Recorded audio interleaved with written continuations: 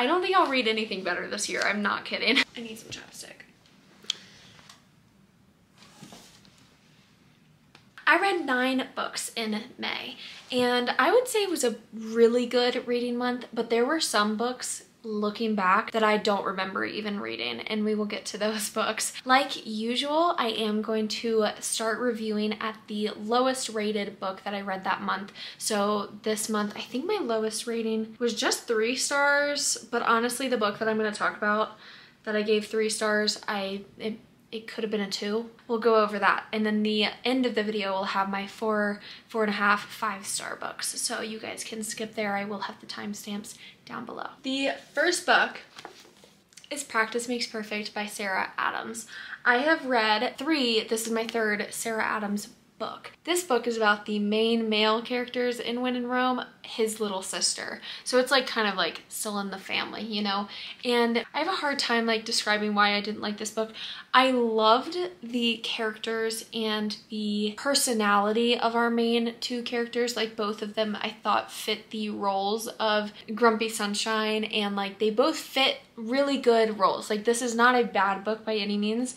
I think my dislike is how corny and cheesy the first half of the book was. I just didn't love how cheesy it was. Our book is about Annie who is very like traditional in the sense that she just wants to find someone to kind of settle down with and she's not really into dating. She's really really into reading romance books and she's kind of just like the quiet one in the family that always is babied. Like everyone babies her and she ends up meeting this bodyguard from the last book. So you have you don't have to read both books but it helps to read like when in rome and then this one. The bodyguard in that book she ends up fake dating. His name is will griffin. He's like all tatted up. He's the bad boy. He's like known as like one of the hottest bodyguards. And they end up fake dating so she annie can kind of learn how to date because she's never done it nor been interested, but she wants to find someone to settle down with. And of course, Will is smitten with her from the get-go. Like there's no there was no like pining or anything. They just kind of like in Will's perspective, you kind of just knew he he wanted her and because she was different. She wasn't his usual. The book is not bad. It was just really short, good filler book and a little like cheesy corny and a little bland, but like not not a bad book. There wasn't a lot of depth in these characters. They were a little flat, but it was still a cute storyline. I just don't know if I would rate it down to like two or two and a half. So I'm leaving it at three right now. The next three star read Luckiest Girl Alive. Now I did listen to this one as well as like physically read it because I already owned the copy but it became available on Libby so I was like I don't want to read it, so I'll listen to it. I was actually not expecting the let's start from the beginning. This book reminded me a lot of My Dark Vanessa in the like, you can tell there's just like a hint of trauma and tragedy coming and you got that hint the whole time. So I read the book first, then watched the movie and I had heard a lot of rumors about the movie and how there was no, there's no trigger warning, there's nothing at the beginning that gives away that this book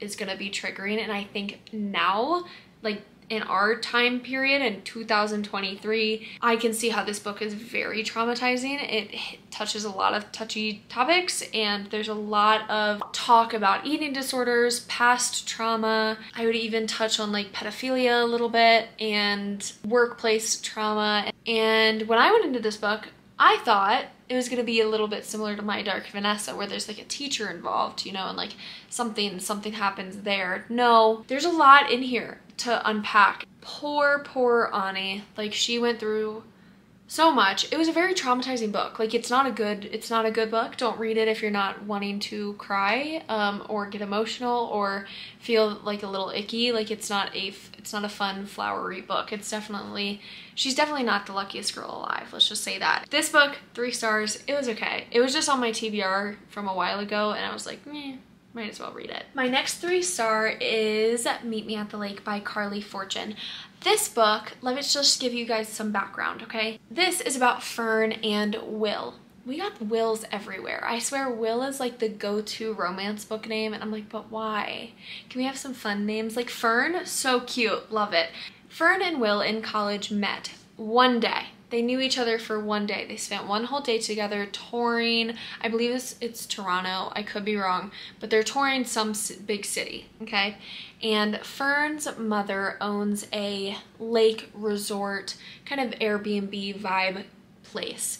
And Fern grew up at this resort her whole life. Her mom expects her to take over this Airbnb resort, but Fern does not want to. She wants that city life. She wants to open her own coffee shop. Will is an artist, and fast forward nine to 10 years, they have not seen each other due to the fact that Will did not uphold his promise that he would meet Fern one year after the day that they met to kind of rekindle. It's a very, very copy and paste second chance romance book.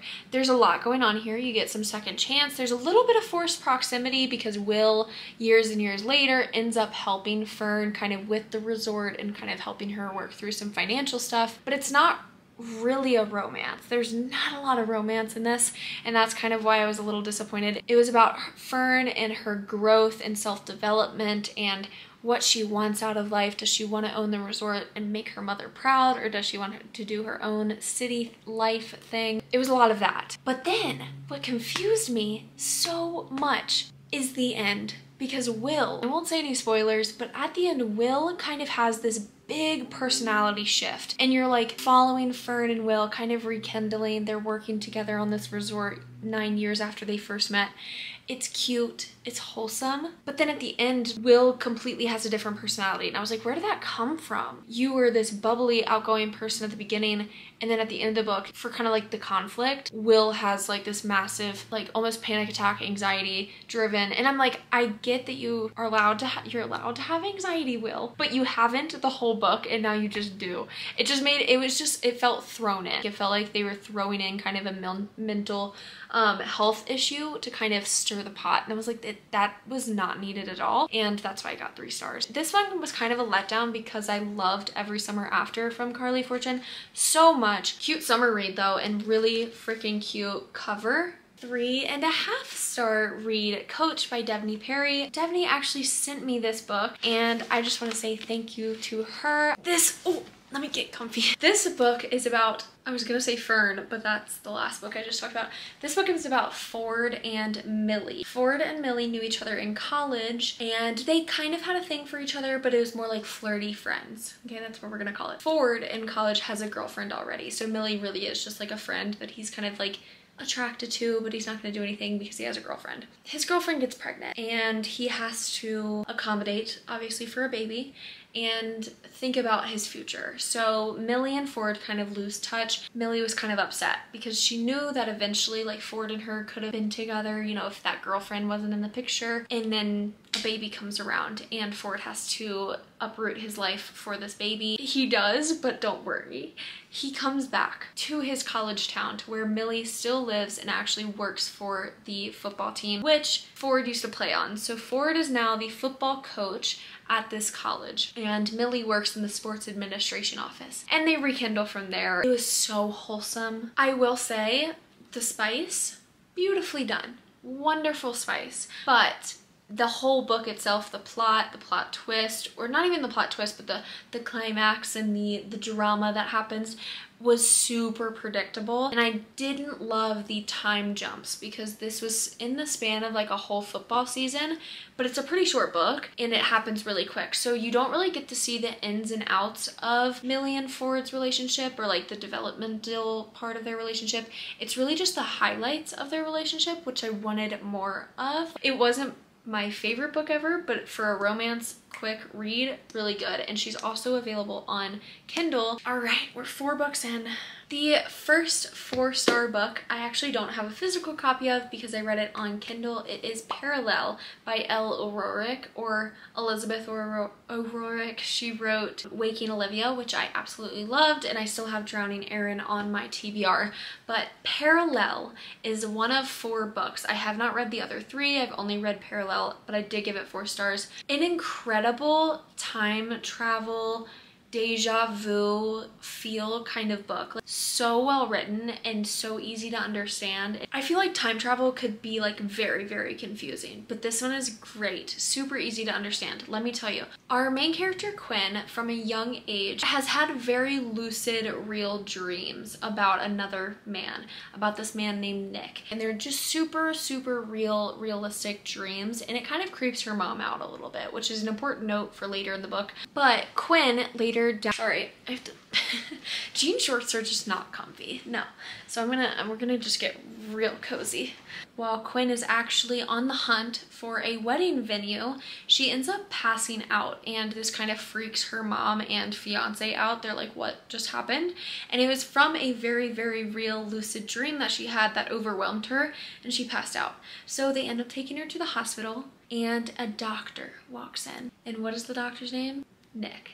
And they kind of have this instant connection. Both of them, they just are like, where do I know you from? Why do I know things about your life that like no one else knows? Like it's just very weird. It's a weird coincidence. But come to find out, actually her whole life, these dreams, she's been time traveling to like a parallel universe. It's not like time traveling into the future or into the past. It's literally like you're hopping, you're not going forward or backward. Like you're hopping over to the next little it's so good. It's not even 300 pages. Elizabeth O'Roark has this way of writing that makes you just, I finished this book in less than 24 hours. Like a very quick, easy read. So spicy, like in the best way because literally she's dreaming it. Well, like she's time traveling in her dream. The next book I gave four and a half out of five stars. I listened to this one and I don't own the physical copy yet, but I did order it because of how much I loved it. Carrie Soto is back by Taylor Jenkins Reid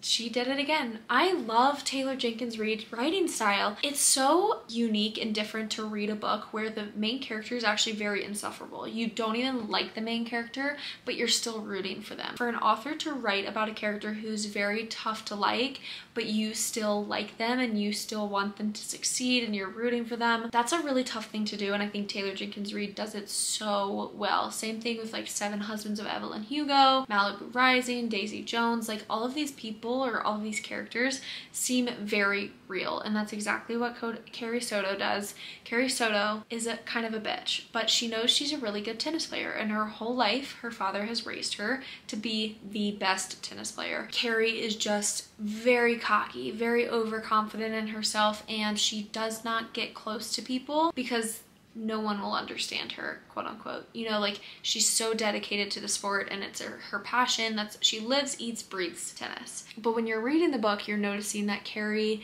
is actually very lonely and she takes tennis so seriously to kind of cover up her loneliness. And i think that there's just something about the way Taylor Jenkins reads writes and the way that you can become so close with some characters and they aren't even real, which is so upsetting. Now we're getting to the fun stuff. We're getting into my five stars. I'm not going over these two books just yet, even though I bet you guys could guess what they are. I did read The Nightingale by Kristin Hannah. If you followed me for the past few months or if you're new here, I've been getting into more historical fiction books. I've read some Kate Quinn, now I'm dipping my toes into Kristin Hannah. Really enjoyed this writing style. So some people might be able to agree with me. I love beautiful writing and I like very like descriptive writing. That's always wonderful. It's always great. But when it's too descriptive or too frilly and like describes a piece of, you know, bread like super, super intensely. I'm like, I just get over it. Let me get to the dialogue, you know? I did not feel that way about this book. It's a dense book. I actually listened to this book also, so I would occasionally read it, also listen to it.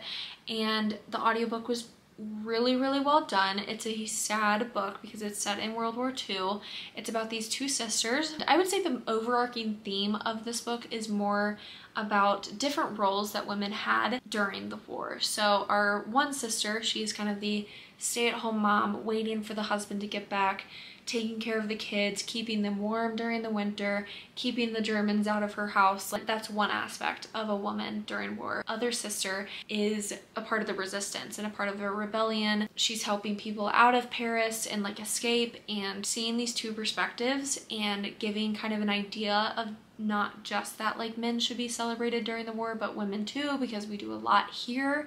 And any World War II book or any history book, I feel like is gonna bound to make you cry. And I'm actually currently reading The Four Winds right now, or is it The Four or Four Winds? I don't know. But I'm reading another book by Kristin Hannah right now because I loved this one so much. My two favorite books of the month. Okay, this, so I kind of want to talk first. I'm going to show you guys the books and then I'm going to talk about the ratings and then the summary and whatever. Mile High and the Right Move by Liz Tomforde. So good. So, so good.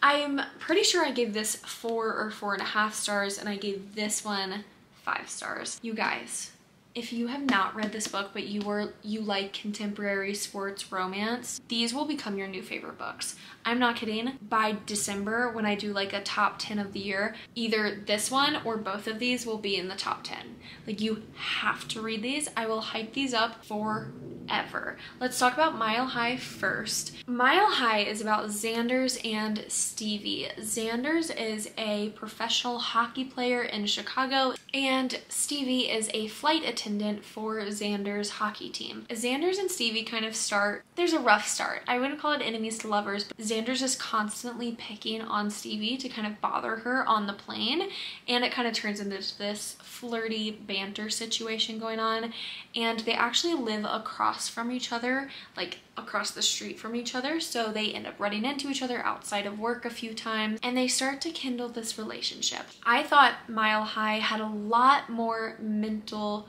health awareness in it to where Zanders has been going to therapy for years and years due to some past things in his life and then Stevie is kind of working on herself from the inside out trying to become more confident in her skin and Zanders is there to kind of help her love herself a little bit more. You read this one first, it'll change your life. But then the real fun starts here. The Right Move is about Ryan and Indy Indy is also a flight attendant, but Ryan is actually a pro basketball player. So while Zanders plays on the hockey team in Chicago, Ryan plays on the basketball team in Chicago, and he's like the top basketball player. Like he's swarmed by paparazzi everywhere he goes. He's very, very he he likes his alone times. He never leaves his apartment. He's just always there. He's very secluded, has no friends. He's kind of like tough to his teammates. None of his teammates are really like close with him because he kind of keeps his distance. And then we have Indy, who is just like a tornado of rainbows and butterflies and books. And like, she's just so fun and out there and extroverted. They come, I can't, I can't even, I cannot put this book into words. I really don't even think I'll be able to describe it. The amount of times I got butterflies or my stomach dropped or I was nervous or anxious or excited for these characters. Like I'm putting this, I'm, this is gonna go right here like it's just gonna be on display. I don't think I'll read anything better this year. I'm not kidding. I can't really say say anything else, but let me tell you there is forced proximity because Indy ends up needing to move in with Ryan for a little bit, so they're kind of roommates for a while.